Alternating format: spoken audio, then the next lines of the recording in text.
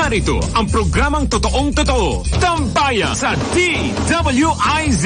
Programang magliliwanag ng ilang mahahalagang mga issue. Tambaya, Tambaya sa DWIZ. At ngayon, narito na sila upang maghatid ng saya sa bawat Pilipino. Sa programang Tambaya sa DWIZ.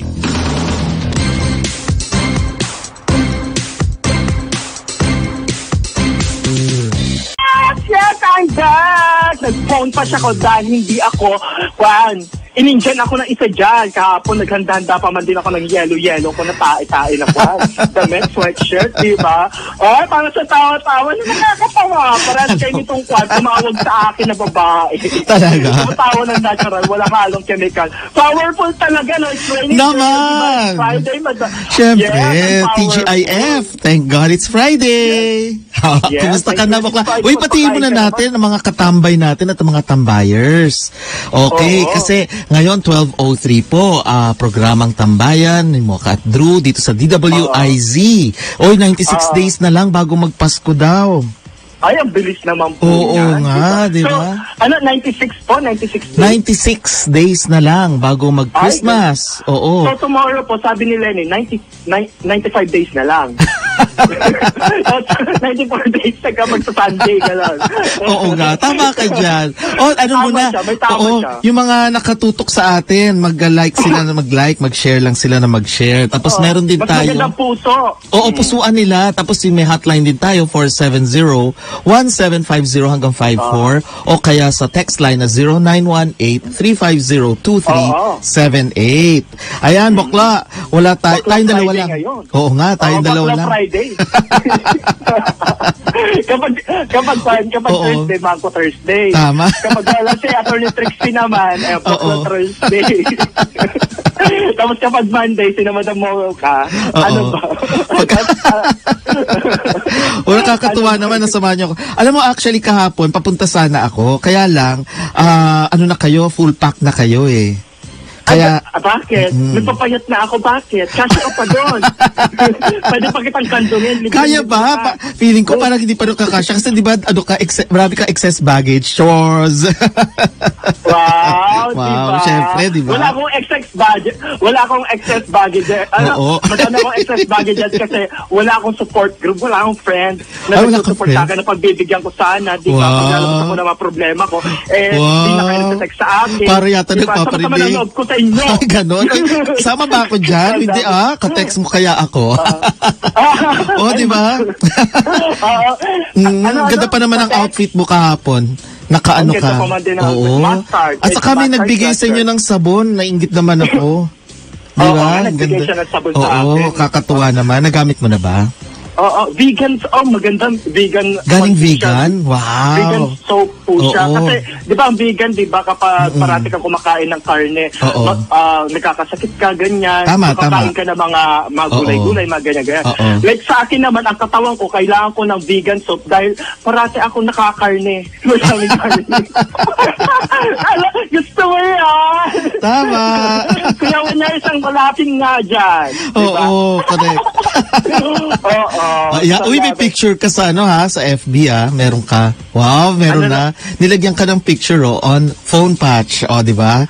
Ah, Kasama social. ka, Baka- social. Yun lang, crinap lang yung picture ko dyan sa kwan. Oo tapos nga, ko. Oo. Wow, ang galing, ang galing na effort talaga ng BWI. Kaya Naman. Oo. Uy, bakla. Anong pag-usapan Mm. natin ngayon?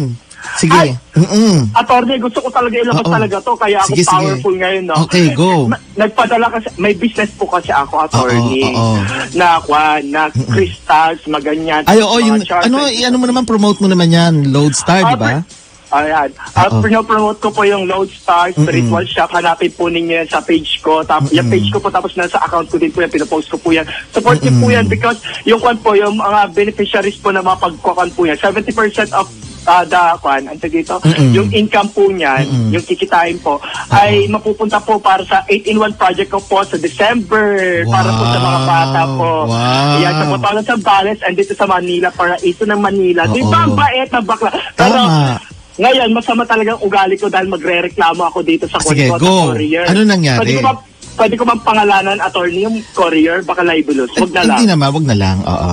Wag Ah, na wag lang. Basta kwan, SRJ, gano'n na lang. Yan. Ito, kwan, yun- SRJ. Ah, ito kasi attorney, Oo. nagpadala ako. Sige, sige. Meron kasi akong staff. O, mayaman, may staff, Wow, di ba? diba? Tapos, Correct. ah, ngayon, ah, nag, may nag-order sa akin na kwan, na taga Cebu po, Mm-mm. ng isang Lucky Dragon, tapos Oo. Metatron Cube, tapos Money Tree, ganyan. Tapos, naglagay ako ng mga freebies doon. Aba, sir, Ano ah, nangyari? Oo. Nung pinadala ko yon tapos na kahapon na-receive nila, Mm-mm. aba, ang lucky kwan ko, ang lucky dragon ko, Mm-mm. bakla naging ipis. Ala. Oo. Tapos yung Metatron Cube ko, attorney, di ba. Mm-mm. Alam mo, attorney, Mm-mm. sa staff ko kasi, ah Oo. pinapackage po talaga namin yon Yung Mm-mm. packaging po talaga mahalaga doon. Mm-mm. Hindi po kami nagkulang. Pero Correct. itong kwan na to, itong courier na to, Oo. ah, hindi nila po, yung monitoring po nila, nagkulang po Oo. sila. Tapos hindi po si- nila sinunod yung Oo. mga standard operating procedure Di- nila. teka. Hindi nila, Oo, ba, ba, bakla, binabubble bath mo ba? Ay, ano, bubble wrap? Bubble bath? Ay, bakla halata ka. Tayo niya, ah, bubble, bubble bath, ah. Hindi, sleep lang yan. Half sleep lang yan. Half bath, Hindi, di ba? The tip of the tongue. Ah. I heard it. Erase, erase. Hindi, di ba bubble wrap ang, di, binabubble wrap mo ba yan para hindi ma, ano, masira? Yes, attorney. Ah, so, Binabubble wrap so, kumbaga, ginawa mo lahat. Oo, ginawa mo lahat Yes. na maayos. Naglagay pa ako ng tagabantay na baklang kwan dyan. Oo. Baklang duwende. Oo. Tapos hindi niya nagampanan at pinagalitan ko. Oo, ano nangyari nung dineliver? Mm-mm. Ah, ganito muna, Ah, sir. sige, ah. sige. Con- Ah, continue mo. Nung dineliver ng kwan ko, ng staff ko po, Mm-mm. ah ang kwan lang po nila, may may box po kasi kami malaki. Ang Mm-mm. sinasabi po nitong courier na to, sinasabi nila na, Mm-mm. ay, ah, kwan po yan yung sukat po ng box, diyan po namin i, i kukwan, ah, malalaman kung ga, kung magkano ang babayaran ninyo sa shipping Mm-mm. fee. Tapos Oo. iba pa po itong isang karton, tapos itong Metatron Cube na frame Mm-mm. ninyo. Mm-mm. Sabi niya. Mm-mm. So, kwan po, nagsuggest itong kwan ko, itong staff ko, na sinabi po sa kanila na pwede po bang kwan yan, na ilipat na lang po sa mas maliit na karton, ah, tapos pagsamahin na lang po yung kwan, Mm-mm. itong Items. Oo. itong item na dragon, tapos itong Mm-mm. isang karton ng money tree. Mm-mm. Tapos nag-yes naman sila, oh pwede din naman po yan. Tapos Mm-mm. binalot na ng aking kwan. Mm-mm. Binalot na to ng aking staff Mm-mm. na bubble wrap tapos nilagay na po. Tapos sinabi ng aking kwan, ng aking staff na lagyan ng fragile. Mm-mm. Siyempre, Ah, oo. Nilagyan naman po ng fragile. Oo, mm-mm. Tapos sinabi din ng kwan po na to, nung tumanggap po na Mm-mm. na kwanda, ang tag dito, Mm-mm. na May value. Sila, na, na sila na lang bahala. Ah, sila na. Pero, ah, sila na bahala. Pero, ito ang pagkukulang po nitong courier na to, itong Mm-mm. SRJ, aka. Mm-mm. No? Ah, Mm-mm. sinab- hindi nila tinanong, hindi sila tinagtanong na i-declare po ang kanila. Nag-feedback, ano ba yan? Oo nga eh. Saka parang Oo. naghahang yata. O sige, Oo. bali, tuloy mo lang. Sinasabotahan tayo ng courier Palagi, na oo. ah. Oh. Yung ano, Ayan SRJ. Oh, yung SRJ na yan na. Tapos ngayon po, hindi po nila sinabi na para siya just na sabihin niyo po Oo. kung ano po yung declared value po nito. Mm-mm. Hindi nila sinabi yung insurance para dito. Mm-mm. Hindi po nila sinabi. Sinabi lang po nila na kwan, ship at own your ano? At risk. Ship At your own risk. Oo. Own risk. Mm-mm. Na parang kapag ganyan pala, 'di ba? Na parang yung meaning pala na nito Mm-mm. courier na ito Mm-mm. na parang kwan, Mm-mm. at ito, John Risky. Yes. John Risky yan. na- na parang, Oo. nagpampa kayo, nag-institution kayo, ang tagal-tagal na ninyo, Mm, di ba? tama. Tapos ganyan ang gaga, gagawin ninyo, tapos mababasag. Tapos sasabihin nila sa akin na doon kasi po sa conditions nila dito sa Mm-mm. rules po nila na parang company shall not be liable for loss or damage shipments, Mm-mm. build, oh, ayan, build, Oo. owner's Mm-mm. risk. Conditions po nila yan, rules po Mm-mm. nila yan. Pero Mm-mm. sinabi ko kanina po, pumunta ako, sumugod talaga ako dito sa branch nila, sinabi ko sa kanila na Mm-mm. ito po ay rules ninyo, but rules can be bent, sabi ko Oo. sa kanila. na parang meron po tayo Consumers Act po. Sabi ko, aba, ang Oo. ang daming alam-alam. Di ba sinabi ko talaga sa kanila, ang dami po Oo. pagkukulang. Na kapag hindi niyo po papalitan to, na parang, Mm-mm. ah, it's my loss talaga kasi it's a business na parang I Mm-mm. invested a lot of money of the, for these businesses. So parang Mm-mm. nag-send ako ng kwan. Mm-mm. Nag-invest ako pa para sa bubble wrap, para sa pencil, pinapansulat, sa Mm-mm. box, Mm-mm. tapos yung 1,400 plus na shipment fee ko. Mm-mm. Di ba? Attorney, tapos ganun lang. Tapos nga tinatawagan ko yung binigay nilang number sa Ayaw. akin. Oo. Napa- na parang tumatawag ako na parang, yes Oo. sir, hindi sila makapagsalita tapos magsasabi sila sa akin na, wa, na nagpon daw sila, may ginagawa daw sila, wala silang ginagawa. So, paano naman po kami mga nagpa, nagpa-ship na, nagpa-ship na ganyan, tapos na-break na ganyan, na wala na kami. Na lus-lus ang bakla, Luz Valdez, di ba? Oo. Kaya nagagalita talaga ako, attorney. Oo Tulungan nga. mo ako, attorney. Kung natin yan, kasuhan natin yan. Kung hindi makasuhan niya, kukulamin ko talaga. I'm sorry. Oo. Pwede naman, oo. Actually, alam mo kasi sa sa ating batas, meron kasi tayong tinatawag na yung courier services, di ba? Yan, nag-avail ka ng courier services. At ah, yan ay dapat um, nagko-comply kasi yan sa may mga international agreements tayo kung paano yan isi-ship. Pwede kasi yan by air freight, ganyan. Meron tayong Warsaw Convention. So, ah depende yan sa rules ng, ng, ano, ng agreement ng bansa natin. Uy, by the way, Boklo, ang ganda ng picture mo ngayon, ha? Pinalitan ni Kuya Winner, ha? Ay, gano'n. Oo, wow, tingnan mo. effort. Effort, Diba? talaga. Oo, parang- Diba? Mm-mm. From kwan, from gay to transgender. Tama, oo. I love it. I love you, Kuya Winner. trans girl ka na ngayon. May 20 ka mamaya, Kuya Winner, sa akin. Ayan, may I love 20 you. daw. Oh, love ka na niya. Oo. Ayun. Eh di yun nga. Um, kaya nga, di ba, pag tayo ay magpapadala ng, ng bagay, dinedeclare natin yung value. Yung value. Ah, kasi, kasama dyan yung insurance, kailangan managot sila kung sakaling mawala or hindi ma-deliver o kaya kung Yes. masira. Mananagot sila, babayaran nila yan, depende sa ah, value na idineklara mo. So, pwede yun. So, pwede nating, anuhin, i, i ano sila, Pero, ah, attorney- mag-demand tayo. Sige, um, tuloy mo lang. Pero attorney, paano yan? Hindi naman nila inas sa amin na mag, mag-declare kami ng value, di Yun ba? nga dapat ah, nag ah, nakalagay yun kasi na dapat talaga idedeklara mo yung value. Kasi kung hindi, i-assume nila na walang masyadong value. Kung sakaling Hmm. pananagutin mo sila sa cost or price nung iyong ipapadala, ay hindi mo makiklaim yun. Kasi kung ano lang yung idedeklara mo, yun lang ang pananagutan nila. Yun. ang mangyayari, oo. Pero Pero pwede, war. pero alam mo, oo, pero yun nga, kasi marami tayong mga kaibigan at mga kababayan, lalo na yung sa abroad, oo, mga OFWs. O yung ganda pala ng topic ninyo kahapon na yung Department of ah, Foreign Workers, Yes. di ba? OFW, maganda yun. Oo, Oo. kakwan, katerno na mukha ko, maganda. Tama, wow ah. Ikaw din, sana. Hubadda Oo, ka. sige. eh di ano nga, um, yun nga marami nagpapadala, kagaya mo at sa mga OFW nating mga kaibigan sa mga kababayan, ah, sila ay minsan pag dineliver dito, di ba, naiiba na or nasisira or pag tayo ay nagpapadala dun sa kanilang lugar, nasisira din or na or nawawala. So, pananagutan yan nung, nung courier services, yung provi- service provider, pananagutan yan. So, dapat ah, mag, mag-file ka ng complaint from the time na nag ah, accrue yung cause of action mo, kailangan mag-file ka kagad sa complaint. Ka, ah, na mag-file ka kagad ng complaint sa kanila. Tapos, kailangan action na nila yan. Kasi minsan, depende sa rules kasi ng courier service eh. Minsan nakalagay kasi sa rules nila na you have, kapag merong defect or merong ah, miss, Ah. missing ah, items, kailangan sabihin mo, let's say within 24 hours or within 48 hours from discovery. So, kailangan sabihin mo Yes, kaagad yan sa kanila. Depende kung paano yung ah, means. Pwede kasing by email, at least inform mo sila. At kailangan mag-action sila dyan. The moment... Ito nga, attorney. Mm-mm. sige, sige. Ang problem ko kasi dyan, Mm-mm. na madami na ang problem sa na pag magko-complain ka tapos mag-set ka sa email-email nila. Aba, napapabunag. Yes. Na parang ilang buwan na. Wala, hindi na Tama. sila sumasagot. Kaya ito, Oo. tinatawagan ko talaga sila. Oo. Kasi mas maganda talaga yung written. Ah, kasi pagka mga tinatawagan, ang dami ng mga cases na ganyan eh, na tinatawagan mo, tapos hindi naman ina-actionan, lalo na kung nag-avail sila nung customer sales representatives nila, di ba? Na papaikot-ikutin ka lang, tapos ang tagal bago, bago replyan.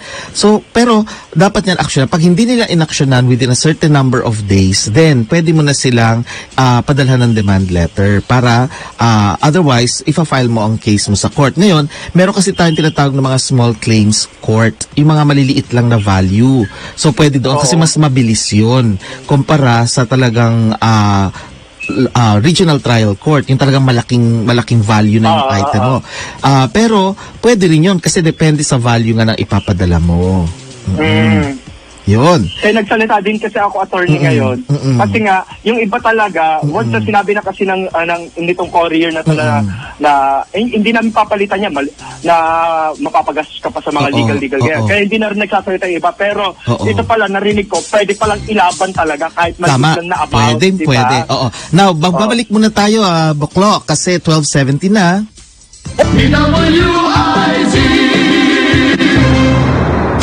Muli nating balikan Tambayang sa DWIZ. Yes! Yes, it's a powerful Friday, everyone! Puso-puso and share, share, share. Ayan po, Sabi, may, opo. May tawa talaga, nagmumultong tawa, no? Nag-init talaga ako, attorney. Oo nga. Pero, uh, ah, Mm-mm. uh, just to clarify, ayan, fellow viewers, ayan po na, I just want to clarify na yung statement ko po is um, is about kan po yan, post-mortem evaluation of, of their kwan, of their murderous services, ganyan. Na para I'm just for naman po, alam mo yun, Oo. concerned naman po talaga sa fellow tama. mga kwan po natin, kababayan po natin, like dito mga OFW, who experience this kind of issue, di ba? Na mishandling of our kwan, Yes. of our valuable items, Oo. di ba? Oo. So, ito kailangan talaga mamulat talaga na Mm-mm. ah, ngayon pa rin kasi attorney um, nag-exist pa rin po talaga yung mga Mm-mm. yung mga nagbubuhat po ng mga padala natin na binabato-bato lang Mm-mm. na Huwag nating titigilan araw-araw kasi kawawa naman po yung mga naghihirap na nagbi-business, yung mga mga OFWs po natin Saka yung na mga ano, yung nagpapa- mga online sellers natin, di ba? Oo. Mm-mm.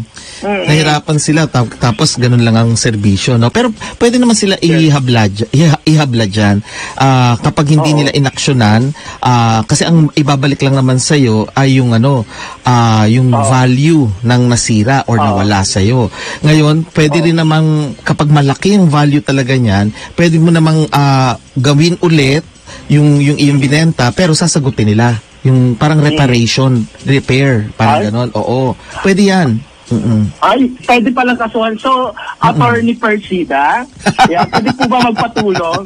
Ikaw si Persida, high cost, ah. Di ba? High cost. Di ba? Pangmayaman, Wow. Attorney Persida. Wow. Ganda ng pangalan ng Persida, di ba? Oo nga, sa akin ang galing Attorney, ano, no? tulungan mo ko dito. Oo Kaya naman. naman yung pinaghirapan ko. Sure, oo. Katuwa natin sila para alam mo attorney ha, Mm-mm, yang yang yang kwa na yan, ha, Mm-mm. courier na yan ha, Mm-mm. na an, Mm-mm. ah, parati nila sinasabi sa mga kwan nila, sa mga sa mga customers nila, Mm-mm. di ba, yung mga nagpapaship na ah, wala kami kasalanan kapag nabasag yan ha, Tama. ganyan, ganyan. Tapos ah, meron po tayo sa rules na breakable, kaya Oo. breakable. Ay, para, sinabi ko nga sa kanila, ano breakable? Lahat po ng mga pinapadala ay breakable, Oo. ganyan. Tapos nasa po yung mga listahan ng mga breakable. Mm-mm. Hindi sila talaga makapagsalita kanina sa akin, attorney, dire-diretso talaga yung pasmado kong bunganga. Oo. Kapag kasi tatahi-tahimik ka lang, tapos Oo naman. tanga-tanga, Yan di nga ah, eh. ba, kakainin ka, ka lang nila. Kaya nga dapat talaga malaman ng mga Pilipino ang mga karapatan nila. Hindi lang yung mga Yes. yung kanilang mga ah, tungkulin or katungkulan kundi pati mga karapatan nila. O ibatiin muna natin yung mga nakikinig. Si Rod Atienzo, Neng Gracela Oli, Macy Sky. Baka may gusto ka pang batiin na buklas mga nakikita mo. Sige, go. Binabati ko po yung courier, yung mga magagaling po na courier, yung mga nagbuhat po. Aba, yung Lucky Dragon po ha. Yung Lucky Dragon kapag nabasag po, yung mamalasin po. May, di ba, attorney, may sumpayan pati yung Metal Tama. Cube, di ba? Correct, oo. Aba, nako, nagkukulang pa mga nakalaban ninyo. Tama. Oo. Ay, Nang-high blood talaga ako. Oo, oh, cool ka lang, relax ka lang kasi oo. Friday ngayon, dapat ano tayo, Oo nga. kailangan light-light lang tayo para happy naman Magpapadala sila. nga ako ng mga boyfriend, yung breakable talaga. Yung kwan, i-declare ko rin kung anong value niya para sa akin. Oo, Ay, tama. salamat. Correct. Uy, batiin ko si Timmy Marquez at saka batiin ko rin si JP, ah, yeah, ah, PJ, ah, yeah, si J, ah, PJ, ah, JP pala, at saka si ah, Za- Zach, ayan, at saka si Zeb, ayan, yung mga binabati ko yan, Oh, saka si wow. Benji, ayan, oh, di ba? Ikaw, baka may Oh, gusto ka so- pang batiin. Ah, binabati ko po ngayon si Madam Mocha Uson tapos Banat Mm. Bay na wala po dyan. Oo nga Ah, eh. Very good. Sinolo mo, It's a sila, trend. sinolo mo silang dalawa kahapon. Ako Oo. naman ngayon. Attorney Trixie. Yes, oo Yan, nga pala wala din sila. po. Correct. Oo, wala ah, sila eh. trending po yan. Trend po yan talaga. phone patch, phone patch lahat. eh, kung, mag, eh kung gawin natin si Kuya Winner upo, tapos phone patch na lang tayo. Oo nga. Parang yan po yung magiging stepdad na lang natin dahil yung pong 1TMD po isa family. Oo. Tapos nag-divorce-divorce na po, naghiwa-hiwalay na po, Ayan, di ba? oo, correct. So, Uy, ang pag-usapan po natin ngayon ay divorce. Divorce. Ayan, ah, sige. Oh, alam mo ba yung, yung ano yan, may tatlo kasing ano, may dalawang um, bills sa Ah. Senado ngayon. Yung isa ay uh, final ni ah, Senator ah, Cayetano at yung isa naman ay final nitong si ah, Senator Hontiveros. Oo. Eh, na-discuss na rin basically um, ni Attorney Trixie nung Tuesday yata yung ah, yung parang inintroduce niya to kasi ang topic niya divorce and drugs, 'di ba? So ngayon naman ipagpatuloy natin yung tungkol sa divorce law. Alam mo, liwanagin lang natin. Alam mo kasi humihirit kasi yung ano eh ah, yung kabilang parlor, humihirit kasi sila na o yung mga traditionalists na sinasabi nila na ito daw ay labag daw sa Biblia, na ito daw ay labag daw sa kautusan ng Diyos, yung mga ganyan. Liwanagin natin Yes. ulit na ang saligang batas natin, ang constitution natin, nirerespeto lahat ng uri ng paniniwala. Di ba? Totoo. Hindi naman kailangan, Oo. hindi naman lahat ng tao ay sumusubscribe or naniniwala sa mga pinaniniwalaan ng mga Katoliko, may mga Muslims. In fact nga, di ba, mga Muslims eh, pwede sila mag-divorce. Meron sila, Yes. allowed sila. In fact, ito nga, Sharia court. Ah, ye- Maganda. yes. Recently nga, etong ah, recently etong ah, Supreme Court natin June yata of this year eh nag ah, recognize ng instant divorce sa Muslim community. Kasi ang nangyari Ah. yung dalawang Muslim ah, na ka- kababayan natin ay nagpakasal muna yung Muslim rights nila. After that, Okay. eh di syempre hindi sila nagkasundo. Di, after that, nag, ano nag-civil naman sila. So, huwes Ah. yun, ano? So, civil ah, wedding after nung Muslim rights nila. Eh, Okay. hindi sila nagkasundo. Tapos ngayon gusto na nila magkahiwalay. Eh, nung nagkahiwalay Ah. sila, ang ginawa, ginamit nilang paraan ng paghiwalay nila ay yung Muslim rights.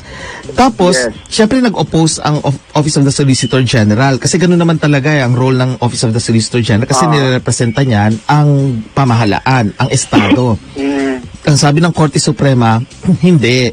Ah, ire-recognize pa rin dapat ng ah, ng ating batas yung Muslim rights. Kaya instant divorce yun. So kumbaga ang mga Muslims Yes. pinapayagan sila pero itong may mga may mga huma, humahanas kasi na Ah. dapat daw eh bawal daw kasi sa Biblia daw Ah. yan. So liwanagin natin na hindi eh, wala tayong state religion, hindi kagaya sa ibang Ah. bansa. At saka ito pa. Ito, Mm-mm. Sige, sige, ah, go. Liliwanagin din kasi po dito sa ating kwan po, sa ah, sa marriage din po kasi, may dalawa po kasing klase na marriage po, na meron po tayong religion marriage and meron din po tayong political marriage. And I thank you. Tama yan, Tama. oo. Meron, kaya nga meron, kaya nga hindi kailangan na sa simbahan ka ikakasal. Pwede Ah. naman sa huwes lang kasi recognized yan. Ngayon, Yes. at saka ito, liwanagin natin kasi alam mo since time immemorial, talagang nagtatalo yung tinatawag na natural law at saka positive law. Liwanagin Yes. natin kung ano yan. Yung natural law, hindi yan batas ng Diyos, kundi yan yung batas na sumasaklaw sa lahat. Universal law, Okay. kumbaga, ah, kumbaga by nature. Pero hindi ibig sabihin na yan ay dapat Mm-hmm. sundin lahat-lahat palagi. Kasi meron din tayo tinatawag na positive law. Ang positive law ay yun yung mga batas na ginawa ng tao or ng estado. Palaging Okay. nagtutunggali ang dalawang yan. For example, yung ah, yung ng ah, ah, marriage, di ba? Yung marriage, Ah. may sinasabi ng natural law, for example, ah, bi- based sa belief yan or moralidad ng tao, hindi daw dapat paghiwalayin. Pero may mga Ah. bansa na gumawa na ng mga sarili-sarili nilang batas na pinapayagan ang paghihiwalay, yung divorce, di ba? So pinapayagan. So palagi yan nagtutunggali ang dalawang yan, yung natural law at saka positive law. So, ah, Dapat may umawat. No? Kumbaga talagang wala tayong magagawa dyan sa sa ganyang klasing ano ah, pananaw. Ngayon tingnan natin Pagandahan na lang. Correct. Pagandahan lang statement. Correct. Okay. Ngayon tingnan natin ang ang history kasi ito hindi na talakay ni Attorney Trixie nung Tuesday pero maganda malaman natin kasi marami nagsasabi na bawal yan, bawal daw yan pero mali sila. Alam mo kung bakit? Noong Yes. araw, nung hindi pa pumapasok dito ang mga Kastila, meron tayong mga tinatawag na tribal rights na. Okay. Ah, okay. So yung mga tribo-tribo sa Pilipinas, merong mga tribo na inaalaw ang paghihiwalay, ang divorce. Inaalaw na yan. Kaso, nung pumasok ang mga Kastila dito, nag-introduce sila nung kanilang batas, di ba? Na Oo. actually, yung batas na yan ay hango pa yan sa Roman law. Roman law, Ah. panahon pa yan sa Italy. O, di ba? Mga Okay, Romano. Oo. Mhm. Yang sa Roman law kasi, ah, pinayagan ang tinatawag na absolute divorce. Pinayagan. Ibig sabihin, pag ayaw niya na sa isa't isa, goodbye. Okay. Okay. Absolute divorce yan. Kaya lang, sa Italy kasi, maraming nag-abuso. Noong, nung panahon pa noon, wala pa si Kristo Aha. nag-abuso. Kaya gumawa sila ng Corpus Juris Civilis, isang ano yan, koleksyon ng mga batas sa sa Italia. Corpus Juris Civilis na pinanggalingan ng ating Kodigo Civil o yung civil code natin dito sa Pilipinas. Yung Roman law na yan, pinagbawalan. Eh di ba ang ang Kristyanismo kumalat na sa Europa nung Middle Ages at lalong Yeah. pinagtibay rito na hindi daw dapat paghiwalayin ang dalawang taong ikinasal. Sabi ng simbahan. Kaya nga di ba nagalit nga itong sina King Henry VIII nung gusto niyang hiwalayan si Catherine of Aragon, di ba? So, kaya na-form, di ba? Yung- Kilala ko yun. Ay, kilala mo? ko yun. Friendship? Oh, kapitbahay namin yun. Ayun, go. pinayagan. Kaya nagkaroon nag, nagkaroon na ng ibang ano prose- Protestantism, 'di ba? At saka mga iba't ibang reliyon. Eh, yang kasi nga yung um, Corpus Juris Civilis na naging Napoleonic Code na pumasok sa Espanya ay Aha. Pumasok na rin sa Pilipinas. Okay. Mhm. So, yan po noong time na yon. Teka, inabot na naman tayo ng 1230. Magbabalik tayo, ipagpatuloy natin yung kasaysayan ng divorce dito sa Pilipinas. Yeah. Muli nating balikan. Tambayang sa DWIZ.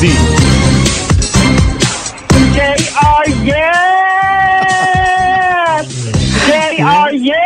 Oh, di ba? Ladies and gentlemen. JRS Oh. talaga. Ah, wala akong tina wala akong tin- sinasabi Wala, ha. wala, di ba? Ha? Oo. Junior, yeah. yeah. yes. Uy, pati Yeah, natin si ano it. si Angela Kahinding. Ayan, si Robs Badoy, Ay! Atilano Kulapo. Ayan. Oo. Marley Hamasaki. Namimigay po yan ng kwan. Oo eh. po yan ng ilaw. Correct. Mabait yan. Ay, mabait yan. Saka si Janet Ikeda, yan.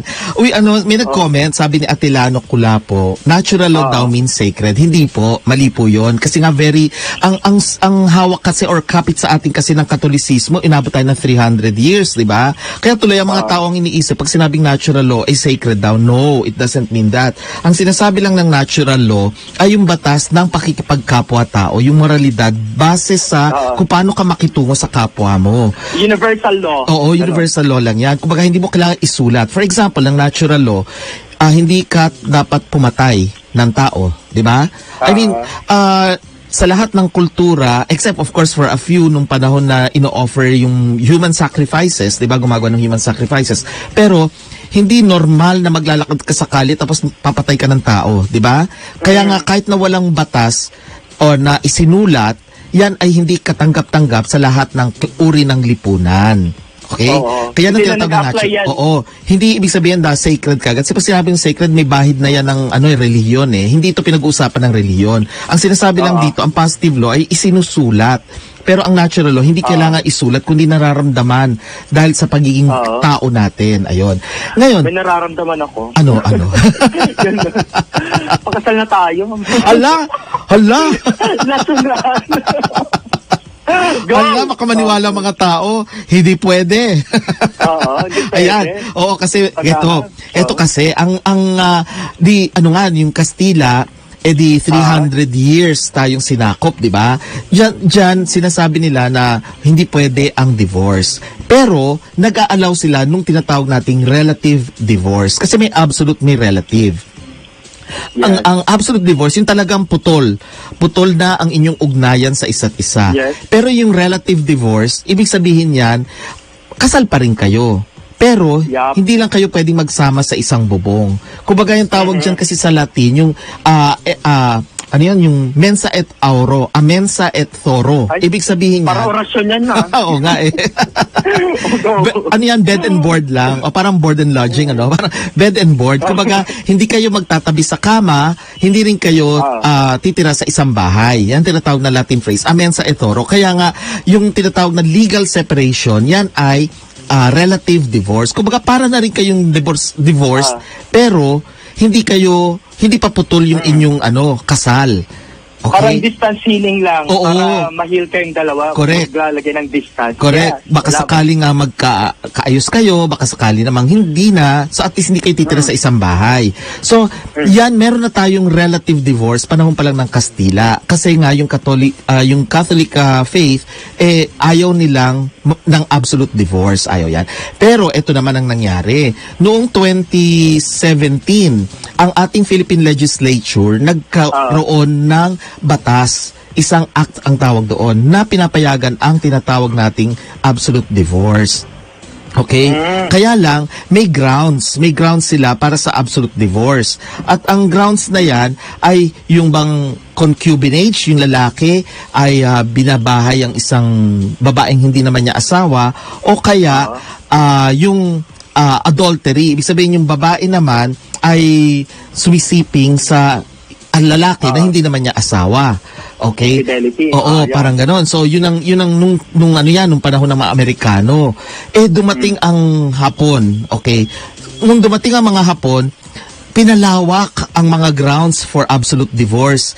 Kasi nga, alam mo sa Japan kasi, ah meron kasi silang tinatawag, mas lenient sila pagdating sa divorce eh. Meron silang divorce na mag apply ka, pupunta sa korte nila, at i-divorce mo yung, yung spouse. Pero pwede rin naman yung agreement lang yung usapan lang ninyo. Kasi alam mo mga Ah. Japanese, mas gusto nila kasi harmony eh. Pansinin mo sa mga Japanese, ayaw nila nung, sa ngayon ah, ayaw nila yung, ah, yung away-away. Mas gusto nila pag nag-uusa. Di ba napaka-civil nga sila? Ba? Yuko ng yuko. Di ba? Yuko ng yuko. Eh, paano attorney kasi ang dami kasi nila mga pinaggagawa dati, kaya bumabawi lang sila, Tama. kaya mababait na sila. Oo. Mm. Di ba yuko sila ng yuko? Kaya meron silang tinatawag na by agreement or yung by mutual consent. Kaya nga nung sinakop naman tayo rito ng mga ah, Hapon, nung, nung panahon ng gyera, 1940s yun, ah, nagkaroon sila ng pinalawak yung grounds para sa absolute divorce. Kaya lang, nung wala na yung mga Hapon, eh di bumalik na sa Pilipinas. Tayo na ulit ang namumuno, di ba? Um, Yes. Nung 1950, nagkaroon na tayo ng new civil code. Yung old civil code ay pinalitan ng bagong civil code. Yan yung civil code natin ngayon. At dyan, binalik na naman nila yung gusto ng mga katoliko na tinanggal na naman yung absolute divorce. So binalik na naman, nagkaroon na naman, pero hindi pa rin nila inalis yung relative divorce, kaya nga may legal separation. At nung pinasok na yung family code nitong dating Pangulong Aquino, Cory Aquino, ay yung family code naman ang pumalit. Okay, so tingnan natin sa family code, nabanggit natin ni Attorney Trixie, meron tayong ah, ah, annulment, meron tayong ah, legal separation, di ba? Yung annulment, Yes, yes. talagang from the beginning, ah ikakat yung ano nyo, yung marriage ninyo, inanal kayo. Ibig sabihin, pwede na kayo magpakasal sa isa't isa. Ay, sa iba't ibang tao, pwede na yon. Mm, Pero ah. pag legal separation, hindi kayo pwedeng ikasal.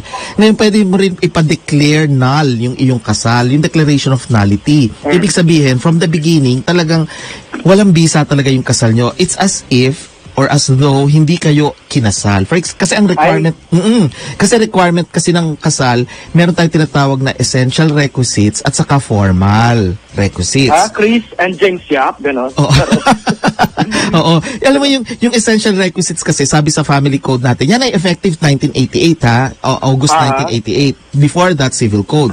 Ang sabi kasi sa family code natin, kailangan may kapasidad magpakasal ang ang dalawang tao. Da dapat daw Yep. lalaki at saka babae legal capacity. So kung kunyari, kinasal kayo, pero yung asawa mo, ah, ang legal age kasi is 18 nung 1988 ha. Prior to that, ah, before that pa, may 16 at saka 14 years old eh. Oo nga, ang aga dati. Correct. Correct, malalandi na. so, Pag-graduation. Correct. Oo nga, 'di ba? Mga nag-aaral pa, kinakasal na. Kaya kita mo 'di ba yung mga lola, ang dami mga lola-lola natin, ang dami Oo. mag-anak kasi very productive sila, 'di ba? Kaya pala ang UP, di ba, meron silang sablay, lalagyan ng bata. Pero- wow. Sige, go ahead, Bago yun, ha? Oo nga, hindi ko nakita yun, ha? Alam mo, wala akong sablay. Nung, nag nung nag-graduate ako, wala akong sablay ng UP.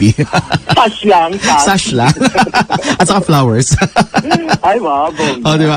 Ayun, edi, ah, isa yan, Rick, ayan yung essential. Kailangan talaga may kapasidad Oo. kayo. Kasi kung kunyari, nagpakasal, yung isa eh 12 years old, tapos yung, yung babae 12, yung lalaki 18, walang visa yan. Hindi kayo pwedeng ikasal. So kumbaga sa simula't simula pa lang, wala nang kasal.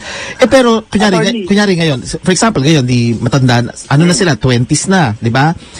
Pero pwedeng ipa-declare na null and void yung kanilang kasal dahil nung sa simula't simula pa lang, eh walang kapasidad magpakasal yung dalawa. Iba yun sa annulment. Oo. Eh bakit yung kina Chris Aquino, di ba? Mm-mm. Paano nanal yung kanila, kasal nila? Ang tatanda na nila, di ba? Oo. Kasi meron din tayong, Diba? oo, meron din kasi tayong binigyan tayo sa family code natin ng isa pang paraan na kumbaga parang parang divorce na rin yon kaya lang medyo pinahirapan ng kaunti. Yung tinatawag na psychological incapacity. Paraan na para-paraan. Oo, para-paraan. Para-paraan. Correct. Oh, galing. Psychological incapacity. Hindi ibig sabihin buang ka or may diferensya ka sa utak. Ibig sabihin lang Sino noon. kaya yan? Ibig sabihin, Sino kaya sa kanila? Oo nga, di ba? Ibig sabihin lang noon na sa kanilang dalawa, hindi sila talaga pwedeng magkasundo dahil hindi ka, ah, psychologically capable yung kanyang Oo. spouse. Sa kanila lang dalawa, pero pwede yung lalaki magpakasal, o yung babae magpakasal sa iba at doon sa iba naman, psychologically capable siya. Kumbaga yung psychological incapacity, dito lang sa dalawang to. Yun ang sinasabi. Hindi ibig sabihin noon na, ay, may diferensya sa utak yung isa, yung isa, ganon. Hindi, Ah. hindi ganon. So, yan yung yan yung ah, sa sa sinasabi ng ating batas nga dapat may kapasidad at dapat may consent din. At yung consent mo, yung bang nag-yes ka, dapat free. Binigay mo ng ng libre at hindi ka pinilit. Walang shotgun. Walang shotgun marriage, ano? At dapat nasa harap nung tinatawag na solemnizing officer. At hindi ka kailangang miyembro nung reliyon nung, rel- nung solemnizing officer. Kunyari ikaw, ah, ano ka, ah, Hindu, kunyari, tas ang papakasalan mo, Kristiyano, eh hindi naman kailangan na yung kunyari yung magpapakasal eh ah, yung magkakasal sa inyo ay pastor, hindi naman kailangan na Oo. ikaw ay Hindu ay kailangan maging ano rin, kasapi. Alam mo ba kung anong tawag dyan? Kapag Ano? pakasal ang Hindu tapos Oo. Christian? Oo. Christindo. Wow. Akala ko, akala ko Hindut. Di ba? May no? Hindutin. Iba pala Oo, ibig sabihin nun, ano? Tidots. Oo, Kapag yun. Tidots, di ba? Oo. Tapos may Oh, tinatawag din na formal requisites. Ang formal requisite, kailangan may autoridad yung solemnizing officer. Hindi Hmm. kinakailangan pare. Pwede kasing rabbi kung ikaw ay Jew. O kaya pwede rin naman ah, ang magkakasal sa inyo ay isang huwes. Di ba? So hindi kailangan na magagastos ka ng pagkalaki-laki tapos da- dadaan ka sa simbahan, sa gitna, sa aisle, ganyan. Maghiwalay din naman pala kayo. Correct. At saka kailangan may valid marriage license ka. Maliban na lang sa mga instances na hindi na Oo. kailangan ng lisensya. For example, nasa bingid na ng kamatayan at kinasal kayo, pwede yun. Okay. So yan mga essential at saka formal requisites. Kailangan sundin yan. Kapag Attorney- wala yan, oo, sige, go. May tanong ako sa'yo, Mm. di ba may mga requirements mga ganyan, Mm. di ba? Meron ba tayo dito sa ating bansa na parang assessor para mag-assess po dito sa mga, yung capacity po ng mga kwan po natin, Ah, tapos po natin, Oo. ganyan. May ginagawa bang hakbang, may Oo. proseso Ganito yan. Oo. Kasi bago ka kumuha ng marriage license, titiyakin mo na lahat ito ay nandoon. Kumbaga, titingnan na dapat i-declare mo yung birth certificate mo para malaman kung ano ba talaga edad mo. Pagkatapos Kung yung- ano ba ang kwan mo, Oo. gender mo. Oo, correct. Alam mo sa family code lang nilagay yan ha. Nilagay lang yan sa family code na kailangan lalaki at saka babae pero wala yan sa ating saligang batas. Okay. Ngayon, eh di um, yan yung mga requirements. Ngayon pagka may cool, ma, pag wala yan, then pwede mong ipa-declare void ang kasal mo. Ibig sabihin, walang visa talaga sa simula pa lang yung kasal. Oo. Iba yan sa annulment. Sa annulment naman ay ah, mangyayari lang yan kapag merong ah, may, may defect, okay, may defect, ipapa-annul mo dahil may nangyaring defect. Kumbaga, nung time na kinasal kayo, ay merong ganito mga kondisyon, kaya ipapa-annul mo Ah. lang siya. Iba yan sa legal separation. Legal separation, kasal pa rin kayo. Oy, may, ano mo na, inabot na naman tayo ng 12.45, ang bilis ng oras. Oo, Magbab- bilis. magbabalik tayo. Oo, Sa- salamat, magbabalik tayo. Muli nating balikan Tambayang sa DWIZ. JR, JR, yes! Junior, yes! Yes. O Boklo, yun nga, ipagpatuloy natin yung tukol nga dito sa annulment at saka divorce, di ba? Hmm. Ang problema kasi sa Pilipinas, kapag ang um, mag-asawa, minsan battered yung babae or kadalasan battered Aha. yung babae, di ba? Or minsan ah, nagkakaroon ng kabit naman yung lalaki, di ba? Yes. Tapos, or minsan, lalo na yung mga OFWs, pag nasa ibang bansa sila, minsan nagkakaroon sila ng ano eh, mga number 2, number 3, ganyan. Kumbaga SIM parang, card, ano? parang friends with benefits, alam mo yon yung mga fubo lang. Ah. Pero kasal pa rin sila dito. Ngayon minsan, nalalaman ng, ng ah, asawa niya dito sa Pilipinas na meron siyang iba roon, kaya lang, tikom na lang ang bibig, hindi na lang nagsasalita kasi importante Ah. yung may perang ipinapadala, yung mga anak na susuportahan. Oo. Although minsan yung ah, yung asawa sa ibang bansa ay meron na sarili rin niyang pamilya. So kumbaga parang um, may nagsasabi kasi na sisirain daw nito ang marriage, ang divorce.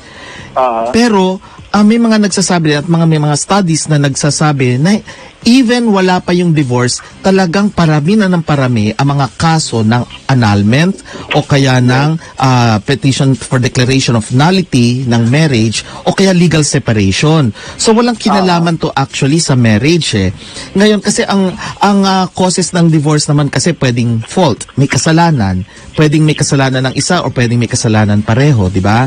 Pwede ring ah, nag-breakdown na yung kanilang ah, relasyon. Kumbaga, ayaw na nilang tumira sa iisang bubong kasi hindi na talaga nila matake ang mga mukha ng bawat isa, di ba? So ang Oo. ang inihain kasi nitong sina si ah, Senator Cayetano at saka to si Hontiveros ay ah, absolute divorce Act of 2019. Ngayon sa sa dalawang version nito, alam mo mas gusto ko yung version ni Pia Cayetano. Mas gusto ko yung version niya kasi mas malinaw. singer? Ha? singer version. Go. Oo, yung version niya. Oo. Mas maganda kasi inaamyendahan din niya yung family code mismo. Ito naman kay Senator Hontiveros, isiningit na naman yung sexual orientation. May nakita na naman akong ganun. Para bang bakit Ay, isiningit nako. na naman niya yon di ba? Etong Pwede kasi ang singit. At saka, alam mo, ang common sa dalawang versions na ito, ang ah, common sa kanila may cool-off period. Oo, Wow, ibig sa- millennials! Yes. Cool six off, months, go. six months cool-off period. So parang sinasabi dito na na pwedeng ano mag-ano muna kayo. Oo, titingnan muna kung sa loob ng anim na buwan ay magkakasundo pa kayo o hindi na. At saka ah, ano dito, pwede rin naman yung summary, yung mabilisan, summary ah, Fast divorce o fast track. Pwede rin daw pala 'yon. Ah, lalo na kung ikaw ay OFW, priority 'yan. So kunyari, Ay. nandito ka sa Pilipinas tapos ah, yung asawa mo nasa ibang bansa, di ba?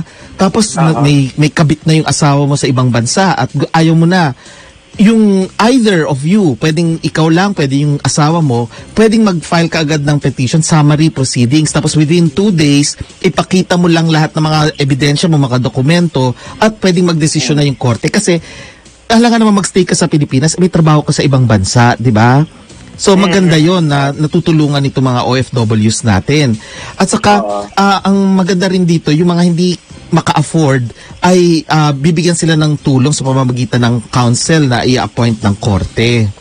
Oo. Kasi sa ngayon, alam mo, ang Ay. mahal talaga ng ng ano ng marriage. Umabot ng 500,000. Ah, Ay, annulment. Marriage. Oo, anal, annulment. Oo. Oo. Maski, kas- alam mo, may mga, nag, 500,000. oo, yung mga kaibigan ko na magpapakasal or may nagtatanong sa akin kung, mag, kung mag, ah, maganda ba magpakasal sila. Sinasabi ko, sigurado ka ba 1 million percent na hindi mo hihiwalayan ang asawa mo? Pag sinasabi niya, Oo. ay, hindi rin ako sure, ah, wag ka na magpakasal. Yun ang sinasabi. Dapat kasi malaman napakagastos. muna nila. Mm-mm. Ang malaman muna pa tala- talaga nila, umatid muna sila sa mga talks tapos mga seminar na Mm-mm. bakit ka kwan magpapakasal. Mm-mm. Ganyan alamin mo muna kung bakit ah, gusto mong may katuwang ka sa buhay, Correct. kailangan mo ba talaga ng tulong Oo. para sa mga ganyan. Correct. Da- dapat sa mga pag-isipan nyo, hindi lang Mm-mm. puro sex, puro i. Oo. Ah, mabuti nga tapos, pinigilan ko. oo, wow. tapos ito pa, ang mahirap pa, kasi meron tayo, kunyari, yung, lalo na sa Japan, nagkaroon ako ng kliyente na ganyan ang kaso. Yung sa, sa Japan sila ikinasal, tapos, ah, dito Oo. sa Pilipinas sila ikinasal, tapos pagdating sa Japan, ah, hindi naman sila nag-away. Kumbaga, nag, ano na lang, parang ang tawag doon, nag-drift na lang sila apart. Oh, di ba, millennial? Ay, Nag-drift apart ang sila, oo. Pero friendship pa rin sila, magkaibigan pa rin sila at may anak sila. Ay, ang so, ganda. oo. So, nag, ah, ang, gin- oo. Mm, ang ginawa nila, pumunta lang sila sa parang parang ang tawag doon, municipal ah, municipal office nila doon. Meron kasi silang Ah. ganun tawag eh. Pumunta sila doon, tapos pumirma lang sila na consent, payag na sila maghiwalay sila. Recognize kasi yung divorce na yan sa Japan by agreement. Attorney, di ba bawal din yung ganyan? Pag dito sa Pilipinas, yung parang... Oo, bawal. Sa may connivance kayo. Oo, di ba? bawal Ay, dito. ganito, sasabihin mo, Correct. para kung- Dito sa Pilipinas, Oo. pero sa Japan kasi, eh, for example, allowed yon. Eh ngayon, divorce na sila. Pagdating dito, nasa records ng ating Philippine Statistics Authority na married pa rin sila. Gusto nilang ipa mawalang visa. Gusto na nilang gawing single na sila para pwede na sila magpakasal sa iba, di ba? Lalo Oo, na kung pwede na- rin silang Oo. i-record ang attorney. Correct, na para kwan. mapalitan Madami yung... na silang. Yes. Kaso, ayaw, ang batas kasi natin at sa korte kasi natin, meron tayong tinatawag na procedure na recognition of foreign judgment. Ibig sabihin, Ay. kailangan korte, foreign judgment ng korte at hindi kasi sa ating mga huwes natin dito, ang korte natin dito, hindi kaila, hindi ka pwedeng magpresenta lang ng Xerox copy na o ito Xerox copy divorce ako, hindi pwedeng ganon. Kailangan patunayan mo na yan ay totoo, galing yan talaga sa Japan. Kaya nga ah, dapat may decree talaga of divorce tapos dapat ipapakonsularize mo yan sa ibang bansa, sa Japan. Ibig sabihin nun, lalagyan nyo yung ribbon na talagang sa embahada ng Pilipinas, i-recognize na, ah, totoo tong dokumentong to. Yun ay ipapakita mo ngayon dito sa Pilipinas. At pati yung batas ng Japan, ipapre- ipapakita mo pa na ito yung inaalaw sa Japan. So, kailangan magtawag ka pa ng isang, ah, or mag-affidavit ang isang abogado sa Japan na ito talaga or isang officer sa Japan na ito yung batas nila. Yun ang problema. Kaso itong ala- ano July lang yata itong taon na ito 2019 ang Court of Appeals natin ay nagkaroon ng isang desisyon. Pero Court of Appeals pa lang to ha, hindi Korte Suprema, hindi pa Supreme Court na inallow maski yung agreement inallow yung mutual agreement kasi merong merong dalawa ang pangalan niya ng babae Maro yata ah, at saka yung kanyang Japanese husband na nag ano sila nag ah, hiwalay na sila by agreement. At sabi ng korte dito a court of appeals na valid din yon kasi sinas- ang sinabing dito, hindi naman fair na yung babae, yung lalaki sa ibang bansa sa Japan, considered divorced na siya, mag-aasawa ng iba, tapos hindi naman sa Pilipinas, hindi makapag-asawa. At saka, valid din naman kasi sa ibang bansa, ang sabi naman kasi ng family code natin, Ah. if a divorce is validly obtained in a foreign country, eh, sa Japan, valid yung ano eh, by agreement eh. So, da- sabi ng Court of Appeals natin, i-recognize yan. Ngayon, dito sa sinabi dito sa ah, bill nitong Pia Cayetano, ay pinapayagan yung mga ganon. So, mas maganda yung pagkakagawa niya. Tapos, Oo. pinoprotection... Lumipat sa Japan. Correct. At pinoproteksyonan dito sa dalawang versions na ito, hindi lang yung child ah, custody, titingnan yung yung best interest of the child dapat eh. Sino nga hawak sa bata? Kapag below 7 years old sa nanay unless unfit yung nanay. Okay. Ah, tapos kung siya ay ah, ah, sabi ni ni Hontiveros pag 14 years old na daw kukonsultahin yung bata pero kay Pia Cayetano walang ganon. Pagkatapos inang ginawa kasi ni Pia yung mga medyo magulong mga provision ng family code yung article 45, 55 at saka 36 inayos niya pero yung kay Hontiveros hindi niya inayos yon siningitan pa nga ng sexual orientation. Oo nga. Tapos Pag-ayos mo na siya ng buhay niya. Oo, tama. So, nilagyan ng ganung procedure. Ah, at saka ano, um, ang kagandahan din nito, hindi, um, hindi, hin- hindi na mapahirap sa mga mamamayan kapag gusto nilang ano, ang syempre humi, humahanas din ang ang mga traditionalists natin, ang mga ah, simbahan. Kagad sinasabi nila makakasira daw ng marriage. Eh bakit hindi sila gumawa ng mga paraan para pa strengthenin ang marriage, 'di ba? Yung pati Yun nga. pagtibayin. Yun ang, oo. Mm-mm. Yun ang pagkukulang nila. Tama. Tapos sigaw sila, sigaw sila ng sigaw attorney na parang sundi, ah, irespeto ang marriage. Di ba sa marriage nga, di ba? Na parang sinasabi nyo sa simbahan na bawal po magpakasal kapag buntis. Mm-mm. Huwag mo na magsisex bago magpa... Aba, nagpakasal, ring bearer na may anak sila. Oo. Gano'n.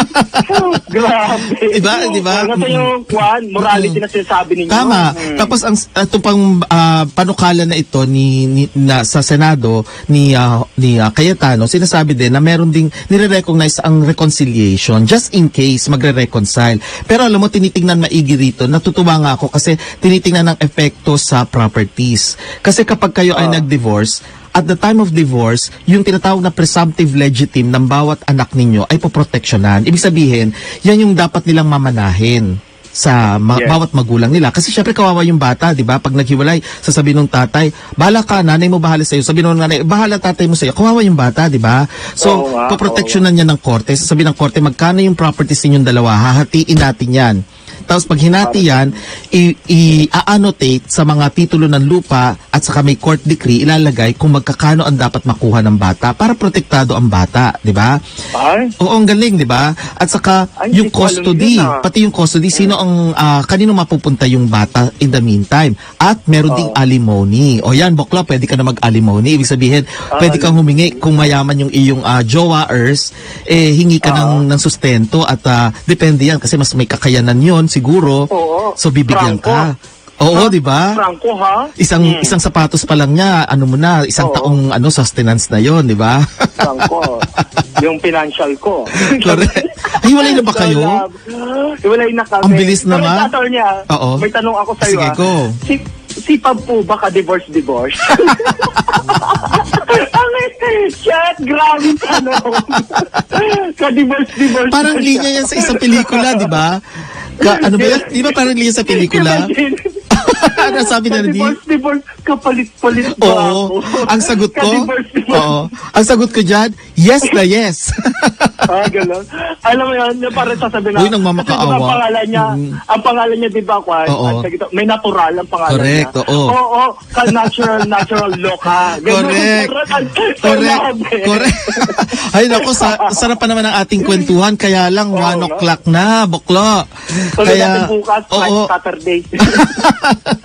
Abangan na lang nila, 'di ba? Sa itutuloy natin kasi ma- medyo ma- magandang pag-usapan pa ito eh, yung ah, tungkol sa divorce at mga iba pang topics. So Friday na magpaalam na muna tayo, bakla. Sige, ikaw Ah, na. paalam na po and thank you po sa pagsuporta. Share, share, share and puso-puso kung naging masaya kayo. Tinodo na po talaga namin. I love you all. Mm-hmm. Yes. Happy weekend. Happy weekend po sa inyo lahat. Maraming salamat ito tambayan on behalf of Attorney Mocha, ah, Attorney Trixie, si Mocha, si Attorney Ahmed, si Banat Bay, at saka si Bokla ng Bayan. Ah, ako po si Attorney Nate na pansamantalang nagpapaalam sa inyo sa programang Tambayan ni Mocha at Drew. Maraming salamat po. Happy weekend. Tambayan sa DWIZ.